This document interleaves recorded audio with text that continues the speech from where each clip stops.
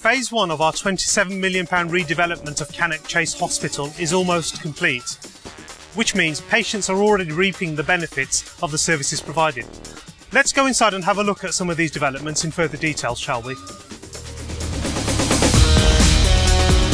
Outpatient clinics for children and their families, as well as advice and support for children with the most complex needs, are provided by the paediatric team at RWT.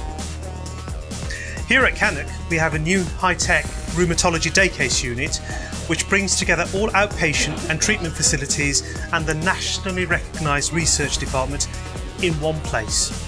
There is a new haematology and oncology day case unit, which means outpatients no longer need to travel to Wolverhampton or Stafford. Teams at the new Davy unit at Cannock Chase Hospital provide a range of day case treatments, including chemotherapy.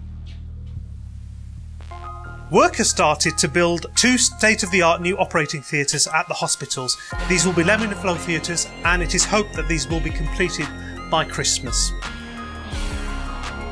A network of 10 local GPs have joined the two practices already operating here at the hospital to provide extended access to primary care. This network covers almost 50,000 patients in the Cannock area, is funded by the Prime Minister's Challenge Fund and has the support of Cannock Chase CCG and the local GPs.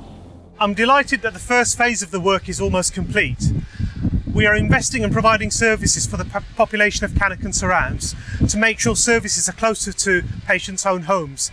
This is what our patients expect and this is what they deserve.